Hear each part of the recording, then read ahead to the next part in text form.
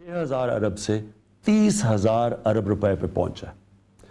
اس کا عوام کو کیا نقصان ہوا کہ جو ہم سالانہ ٹیکس اکٹھا کرتے ہیں جو ہے تقریباً چار ہزار ارب روپیہ، اس میں سے آدھا ٹیکس تقریباً دو ہزار ارب روپیہ صرف ان کے لیے ہوئے قرضوں کی قسطیں ادا کرنے پہ جاتا ہے۔ جو باقی پیسہ بچ جاتا ہے، اس پہ یہ ملک نہیں اپنے خرچے پورے کر سکتا۔ پاکستانی وہ قوم ہے جو بدقسمتی سے دنیا میں سب سے کم ٹیکس دیتے ہیں، لیکن ان چند ملکوں میں سے ہیں جو سب سے زیادہ خیرات دیتے ہیں۔ اور یہ وہ قوم ہے جس میں صلاحیت ہے۔ اور اگر جذبہ آ گیا تو کم از کم ہم دس ہزار ارب روپیہ اکٹھا کر سکتے ہیں ہر سال۔ اس لیے میں آپ سب سے آج اپیل کر رہا ہوں کہ ہم یہ جو اثاثہ ڈکلیئر کرنے کی اسکیم لے کے آئے ہیں، اس میں آپ سب شرکت کریں۔ کیونکہ اگر ہم ٹیکس نہیں دیں گے، ہم ہم اپنے ملک کو اوپر نہیں اٹھا سکتے۔ ہمیں اپنے آپ کو تبدیل کرنا پڑے گا اگر ہم ایک عظیم قوم بننا چاہتے ہیں۔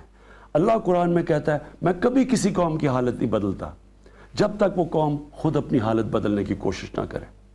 تیس جون تک آپ کے پاس وقت ہے کہ اپنے اثاثے، اپنے بینامی اثاثے، بینامی بینک اکاؤنٹس، باہر پیسہ پڑا ہوا ہے، ان کو ڈکلیئر کریں۔ تیس جون کے پاس آپ کو یہ موقع نہیں ملے گا۔ اور یہ یاد رکھیں، یہ آج جو ہماری گورنمنٹ ہے، اس کے پاس وہ انفارمیشن ہے، کبھی پہلے کسی گورنمنٹ کے پاس نہیں تھی۔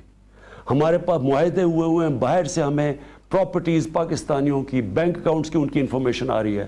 ہماری ایجنسیز پاس انفارمیشن ہے، کس کے پاس بینامی اکاؤنٹ پڑے ہیں بینامی پراپرٹیز پڑی ہیں، یہ کبھی پہلے ہمارے پاس نہیں تھی۔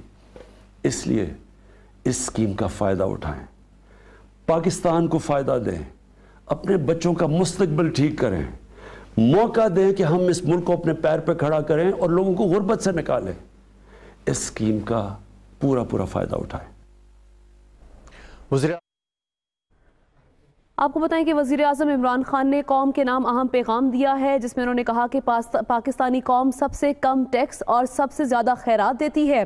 اثاثہ ڈکلیئر کرنے کی اسکیم میں سب شرکت کریں۔ انہوں نے کہا کہ اگر ہم ٹیکس نہیں دیں گے تو ترقی نہیں کر سکتے۔